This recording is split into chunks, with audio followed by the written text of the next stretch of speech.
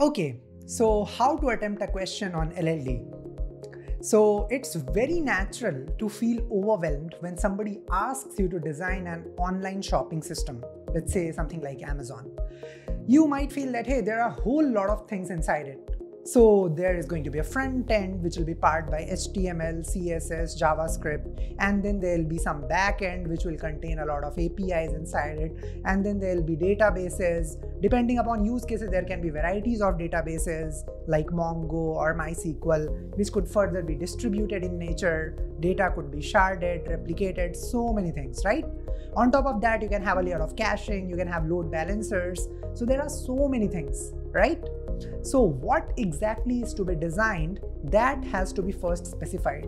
Otherwise, we won't be able to solve an open-ended question like this in a limited time frame.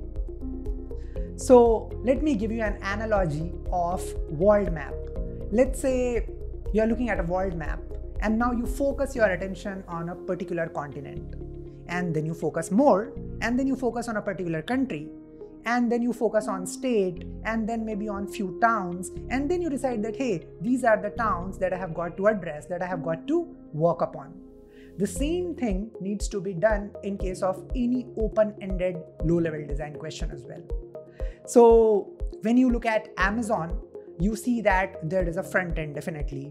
There is a back end and then there is a database side. In most of the lld interviews a working ui is not expected Similarly, you are not expected to write a code that connects to some database, that manages some connection pools and all such sorts of things.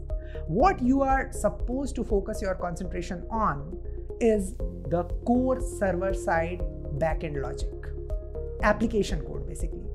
Now, there the important thing that you can start your journey from is an API. You can imagine that API is just like a function that takes a request, does something on top of it, and returns some response. While designing an API, you can imagine it like a flat function. You don't have to worry about how that API is going to be called. You don't have to worry about what is going to be the timeout at the client side, what is going to be their retry strategy, and what kind of networking protocols they'll be using. No, nothing like that. Similarly, you don't have to worry about the databases. You can just have a mock data store, or you can just have few hash maps instead of MySQL tables. And then you can focus your concentration solely on the APIs and the underlying libraries and modules. So let's say now you know what you have to design. You have to focus your attention on the core business logic, which is your application side code. So here, now you can just figure out that there are so many things that are going to be out there again. So you will have to zoom in more. So if you think about something like an online shopping system, you might have a separate payment service that processes payments. You might have a separate order service that manipulates order. And then you might have a separate notification service that sends different forms of notifications. So here you have to figure out what is it that you got to do. So let's say you have got to work on the APIs of order service. And then you realize that the first important API is going to be fetch order details, which will take an order ID and maybe an order type.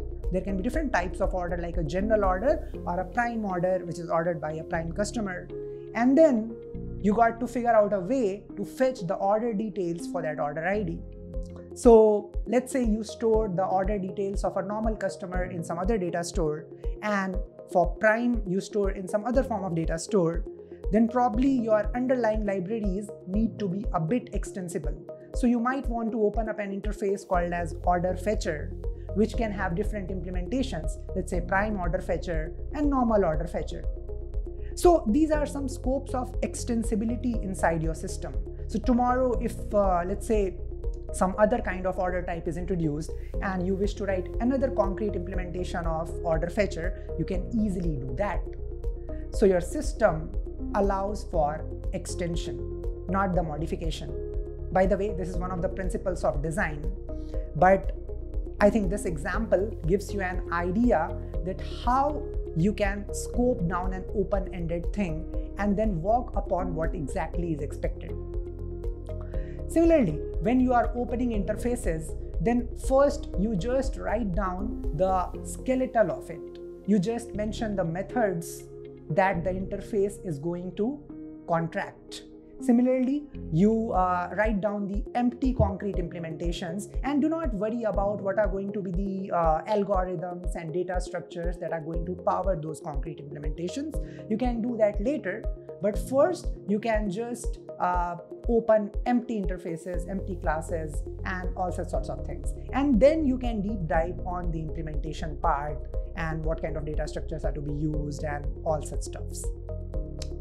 One more thing while attempting a low-level design question, there are two general approaches that people follow. First is bottom-top. In bottom-top approach, what people do is they start from the innermost classes, or I would say the sink classes, so let's say you have to design an order service. So instead of starting right from the API, they would first design data models like order, and then they would design the, the classes that have to lie on top of them, and then the classes that have to lie on top further. And then finally, uh, they write API.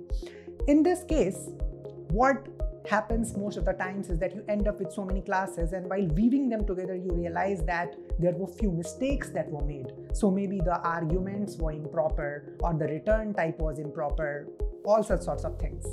Another way of attempting low level design question is top bottom approach in which you start right from the top which is from api itself and then as and when you need the feel of different modules you create them.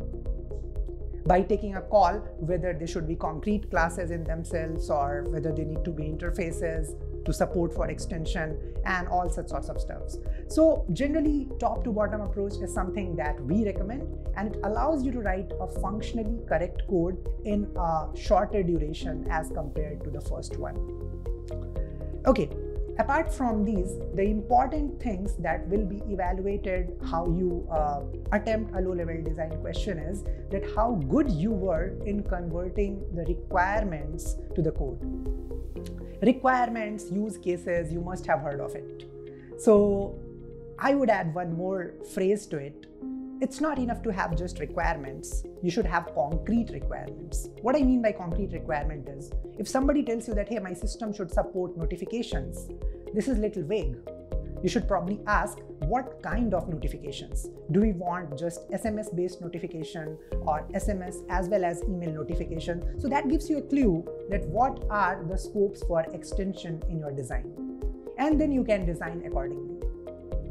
So, in any low level design interview, extension is of paramount importance, followed by maintainability, readability, and all the other uh, clean code principles. So, this is how you should be narrowing down an open ended problem to very concrete problem and then deliver it in a limited frame of time in a low level design interview.